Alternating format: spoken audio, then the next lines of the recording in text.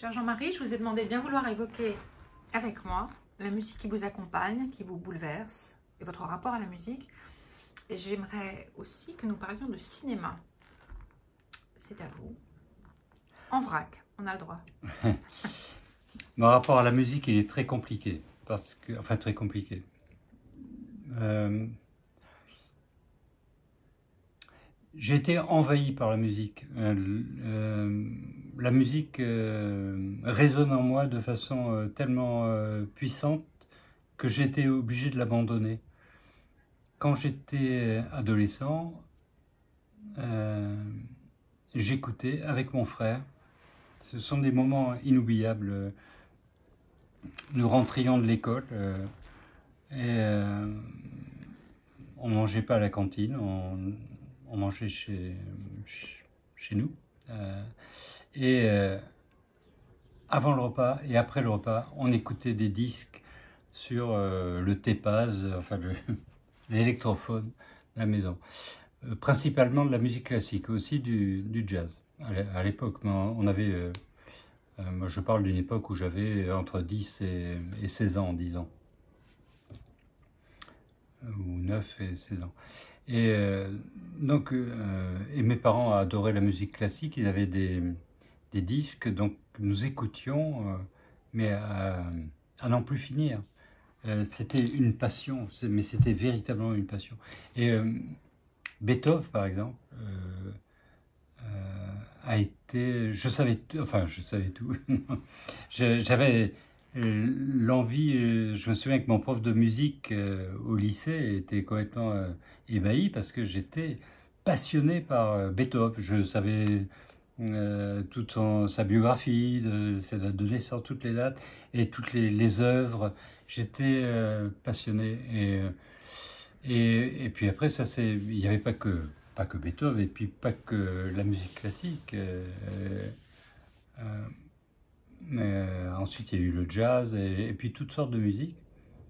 Et quand j'ai commencé à écrire, euh, j'avais en moi toute cette musique. Mais il a fallu que je l'abandonne. Je ne pouvais plus. C'est-à-dire que c'était soit la musique, euh, soit l'écriture. Je ne pouvais pas. Euh, c'était trop important. je ne peux pas écrire en écoutant la musique, par exemple. C'est impossible. Parce que si j'écoute de la musique, j'écoute de la musique. Donc aujourd'hui, j'écoute très peu de musique. Quand j'en écoute, c'est de façon très intense, mais, ça peut être toutes sortes de musique. Je suis très, euh, très éclectique, euh, comme en littérature d'ailleurs. Euh, mais c'est un. J'ai chanté, enfin, j'ai. J'ai un moment de ma vie, quand j'avais 18 ans, entre 18 et 20 ans, j'écrivais des chansons et je tournais dans les maisons de la culture. Vous ne feriez pas une petite chanson là Non, non, là je peux pas. Ah, zut, je vais essayer. J'aurais essayé. non, je peux pas. Mais Mm, je vous enverrai une, une vidéo. S'il vous plaît. et euh, voilà, donc euh, la musique, euh, c'est c'est très important pour moi. C'est sans doute l'art dont je me sens le plus proche, parce que je ne sais pas pourquoi. C'est ça fait vibrer en moi. Plus que la peinture est beaucoup plus difficile. J'adore la peinture, mais c'est ça m'est extérieur, c'est-à-dire que je, ne peux, je suis fasciné par la peinture, mais ça ne peut pas provenir de moi. Jamais je ne serais peintre alors que j'aurais voulu être musicien. Enfin, si, euh, si je pouvais rêver d'être un autre, un artiste, je serais musicien, c'est sûr. Pas ni danseur, ni, ni, ni peintre, alors que j'aime la danse et que J'adore la peinture, euh, la sculpture, mais voilà. Et le cinéma, euh, le cinéma, ça,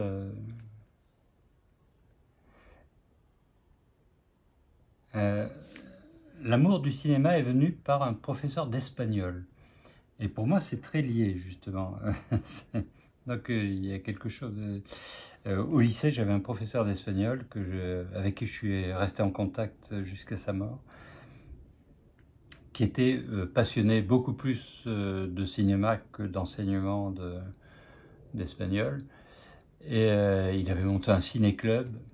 Et donc, moi, j'aimais l'apprentissage de l'espagnol, ça me passionnait. Mais j'adorais le, suivre au ciné-club et, découvrir avec lui de tout ce qu'il avait à me, faire découvrir. Donc, ça c'est assez lié pour moi.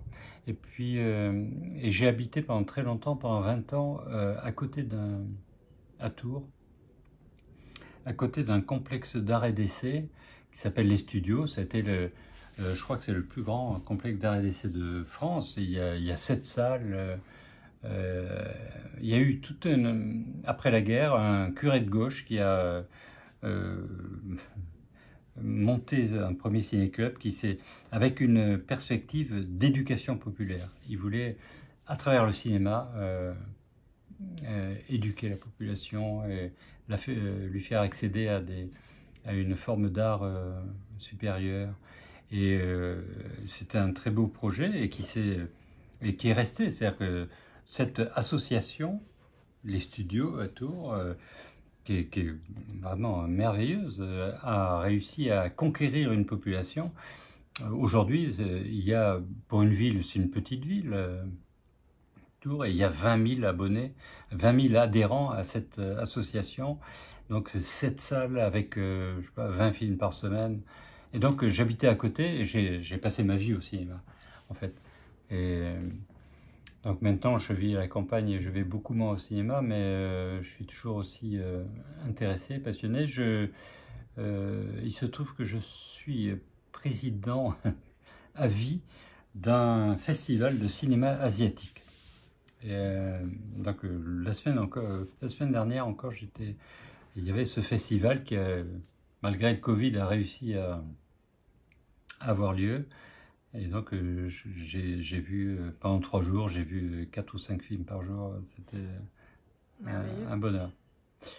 mais j'aime le cinéma, mais je ne je suis pas un, vrai cinéphile. Hein, moi, je connais des vrais cinéphiles qui connaissent toutes les dates, tous les chefs opérateurs. les, euh, non, je, ne suis pas un savant du tout, mais je suis un amoureux du cinéma. Merci beaucoup.